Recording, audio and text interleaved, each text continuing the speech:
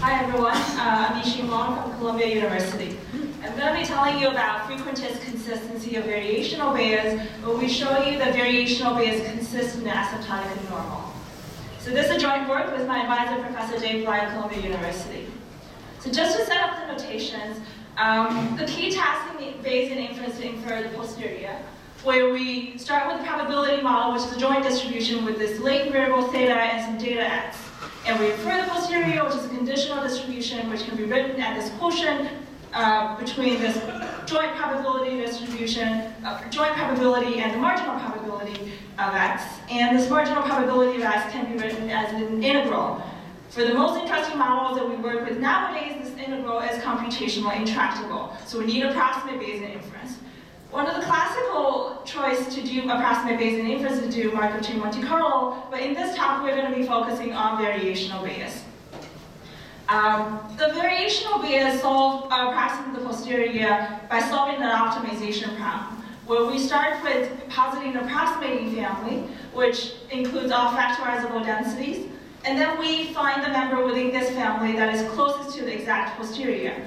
So imagine we have this ellipsoid that includes all the factorizable densities. We'll initialize ourselves within it and do a lot of optimization steps until we get to a point that is closest to this exact posterior on the upper left.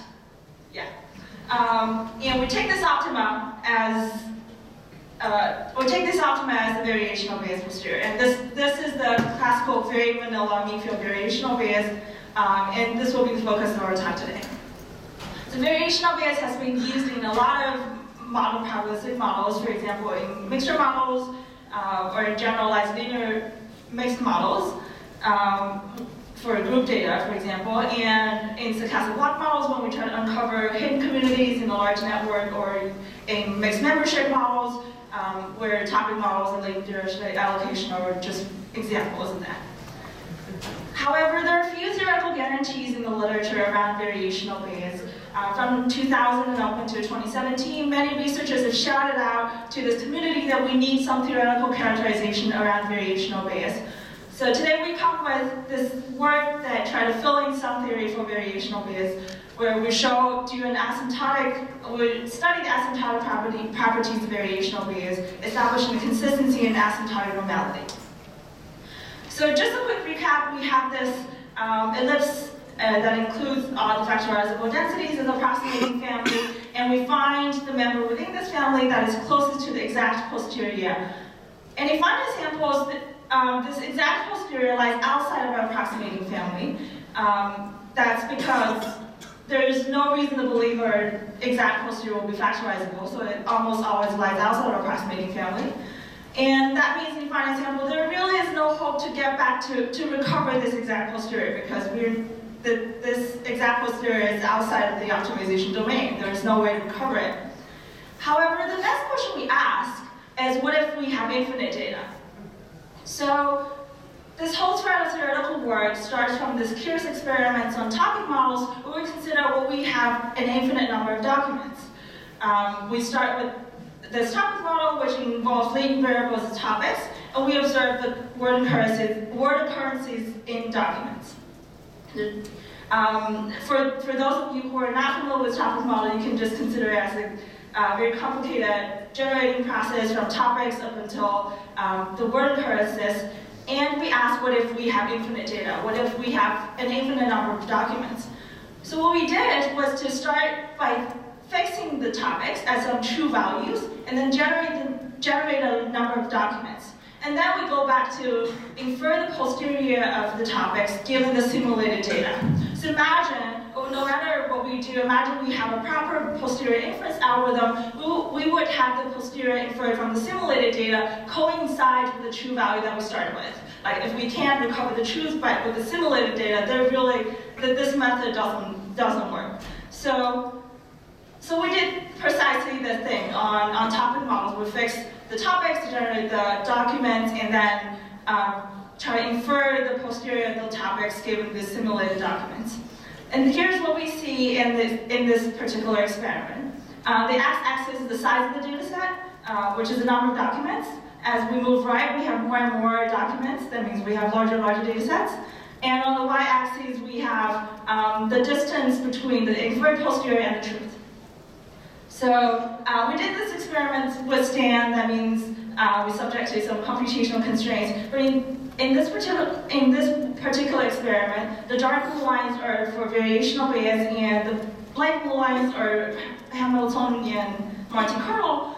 And in, in, here we can see variational Bayes converges to the truth faster in MCMC. And we know that MCMC is well theoretically guaranteed, and we think same, the same guarantee really should exist for variational bayes.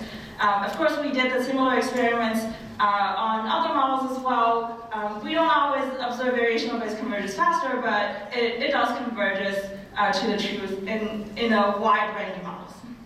So today we come with a theorem that tells you this is always the case. Um, so here's the main theorem in plain English. We start with a model with latent and observed variables, and we simulate data from this model with latent variables fixed to the true value.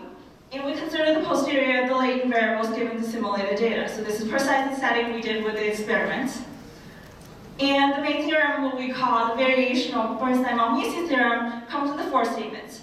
We, we know that we can say that the variational bayes posterior is consistent in terms of the variational bayes posterior converges in distribution to a point mass of the true value. it, it is also asymptotic normal um, meaning the variational bayes posterior, if properly recentered and rescaled, it converges in total variation distance to a normal distribution. We can also establish consistency and asymptotic normality for the variational bayes estimate, which is a point estimate computed as the mean of the variational bayes posterior. And uh, consistency means it converges to the true value almost surely, and after properly rescaling and recentering, it converges the distribution uh, to a normal distribution. In our paper, we apply it to um, several, several specific models, like generalized linear mixed models, mixture models, and stochastic block models, um, uh, just to characterize the asymptotic properties of variational bayes posterior we, uh, we got from these specific models, and in general, use variational bayes in this class of models uh, was more confident. So by now, you probably are wondering why this is ever true. So if there's one slide that, that I want you to pay attention to, this is the slide. So why is the variational bayes posterior consistent? The intuition here is, is as more and more data comes in, the exact posterior will contract in the sense that we have more and more data, we have more and more evidence uh, about our estimation, we are more and more confident about our estimation, so the posterior variance will shrink until it'll shrink converges to a point mass of the truth. And the interesting thing about the point mass are the point masses are factorizable. So the exact posterior, which are the point masses in the limit, actually sits within our variational family that we started with. Uh, we, uh, we, we, we set out our variational family as the factorizable densities. So if we look at this picture, we still have this ellipsoid ellipse, including all factorizable densities. And what happens is, if we have one data point, our exact posterior may be far there, and and we, if we get more and more data points, our exact posterior will actually move closer and closer to our approximating family. And once we have infinite data, this exact posterior will come into our approximating family, and so that uh, we can recover the truth in, with infinite data.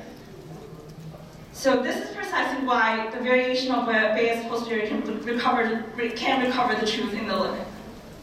So now I want to give a little more technical details about our variational Bernstein-von Mises theorem, we need three main technical assumptions. First of all, being prior mass, we need our prior to include the true value of the latent variable. If a priori we know that this true value is not possible, we're not able to get it back. Um, the second assumption is consistent testability, mean roughly means with infinite data, our models is, is identifiable. And the last assumption is local asymptotic normality, uh, it roughly means around the true value our model can be approximable by a normal model. Um, this is actually a mild assumption in that for a lot of, for for second order differentiable models, um, we can just do second order Taylor expansion at the truth, and we can have, we, we, are, we already have this normal approximation. So these three assumptions um, actually ensure the consistency and asymptotic normality of the exact posterior. So, um, and to prove our theorem for variational Bayes, we don't, we didn't require any extra technical technical conditions. So that means um, as long as the Bayes posterior is properly behaving, our variational Bayes posterior is going to be consistent asymptotic and normal. so going to the main statements of our theorem, uh, the first statement about the consistency of variational Bayes posterior. Again, we start with this model of p x given theta, where p is the data and theta is the latent variable. We simulate data ID from this density by fixing this latent variable as the true value theta 0, and consider the variational Bayes posterior by minimizing the KL divergence between ourself and the exact posterior. so under the mild technical conditions I just mentioned, the variational Bayes posterior is consistent in the sense it converges to a point best the truth in distribution. We can also establish asymptotic normality by considering a slightly transformed version of the latent variable. We need to recenter it the truth, rescale it by proper rate, and then we consider um, the variational Bayes posterior of this transformed, transformed latent variable. We can say the total variation between this variational Bayes posterior and a normal distribution will converge to zero in probability. But we notice here there are two constants where we have delta and b here. These are both model-dependent constants, meaning whenever you hand me a model, I'll be able to compute it for you based on a theorem. And then we can establish properties for the variational Bayes estimate, which is the median of the variational Bayes posterior. And under these uh, technical assumptions we just stated, the variational Bayes estimate is consistent. It converges to the truth almost surely. And lastly, uh, we can recenter this variational Bayes posterior at the truth and rescale up by a proper rate. It'll converge to zero mean random, normal random variable. Uh, I want, also want to um, remark that this scaling rate, although in low-dimensional parametric models, uh, we often have it taking the value 1 over root n, which gives us the root n consistency that we have seen in a lot of theorems. So before I wrap up my talk, I want to mention some related work, uh, which we are highly inspired by. Um, there are a few model-specific results on variational approximations, um, including those on linear models, Poisson mixture, Poisson mixed effects models, stochastic block models, and um, mixture Gaussian models. And this work provides a general guarantee, general asymptotic guarantee for variational Bayes, uh, and it offers a general recipe for to analyze a large collection large collection of models. So for the more interested people, uh, welcome to check out our arXiv preprint where we address more complicated problems like what if the number of latent variables increases with, it, with the data size, or what about a different uh, approximating family, how to apply this measure to specific models, and what happens in practice. So to wrap up, in this work, we present a general asymptotic theorem, uh, asymptotic guarantee for variational Bayes. We show that the variational Bayes posterior is consistent and asymptotically normal. Uh, we can also show the variational Bayes estimate, which is the mean of the variational Bayes posterior, is consistent and asymptotically normal. And the takeaway message is, uh, if you're not yet a variational Bayes user uh, and worry about its theoretical guarantees, we now have some asymptotic property. We have studied the asymptotic properties and welcome to give it a try. If you're already a variational Bayes user, keep doing what you're doing, you're the best. um, that's all my talk, and uh, I'd be happy to take any questions.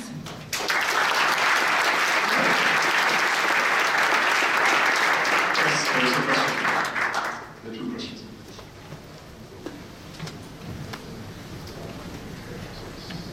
Um, so this is great work. I just wanted to, for the related work section, I think uh, some very work, very early work by Hagai Attias in 1999.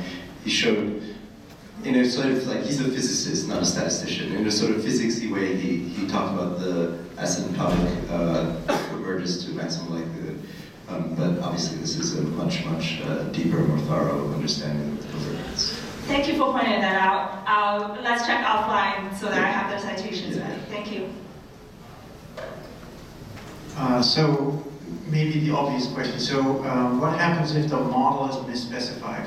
So this is already an issue with normal Bayesian inference. So now there's an extra layer of complication due to the variation approximations. Do you have any results on that? Uh, I any results on that, this is a great question. And um, we can, like, I believe similar results is doable in the sense that for the classical Bernstein-von Mises theorem, Bickel and Kleijn in 2012, um, they already have characterized Bernstein-von Mises theorem under model misspecification.